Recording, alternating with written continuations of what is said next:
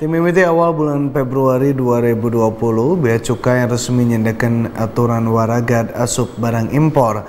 Sajina nyata nyiptakan perlakuan perpajakan anu adil turnang tayungan industri kecil menengah.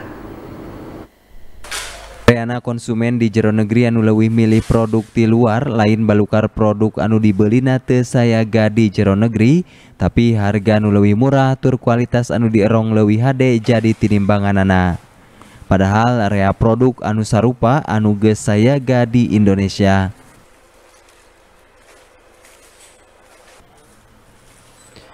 Nyaharepan eta hal pikeun perlakuan perpajakan anu adil turnang tayungan industri kecil menengah, oge pikeun nyiptakeun level playing file Bea Cukai medakeun kawijakan anyar patali karena barang kiriman di luar negeri ngaliwatan Menteri Keuangan PMK nomor 188 garis miring PMK titik 010 garis miring 2018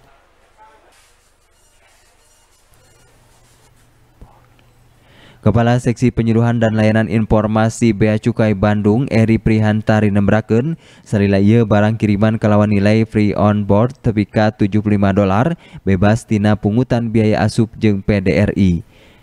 Ku anyar diatur pikeun barang kiriman kalawan nilai tepi ka kurang ti dolar, bebas tina biaya asup, tapi tetap kudu mayar PPN 10%. Pikeun barang kiriman kalawan nilai FOB di luhureun tilu dolar tepi ka 1.500 dolar dipulut biaya asup 7,5 persen tur PPN 10 persen. Kan ketentuan baru barang kiriman seperti apa sih Bu?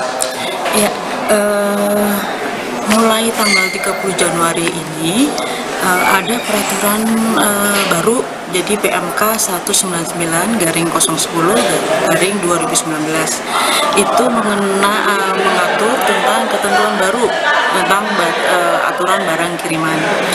Uh, di antaranya adalah ada batas pembebasan biaya masuk baru. Kalau dulu 75 dolar sekarang sampai dengan 3 dolar itu pembebas biaya masuknya dibebaskan tapi masih kena PPN kemudian di atas 3 dolar itu uh, dikenakan biaya masuk 7,5% flat PPE dan PDRI selanjutnya.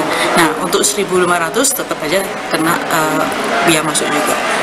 Gitu. Tina total importasi ngeliwatan barang kiriman anu jumlah na 673 juta paket tahun 2018, 63 persen mangrupa barang fashion, ngawengkut tas, sepatu, jeng produk tekstil.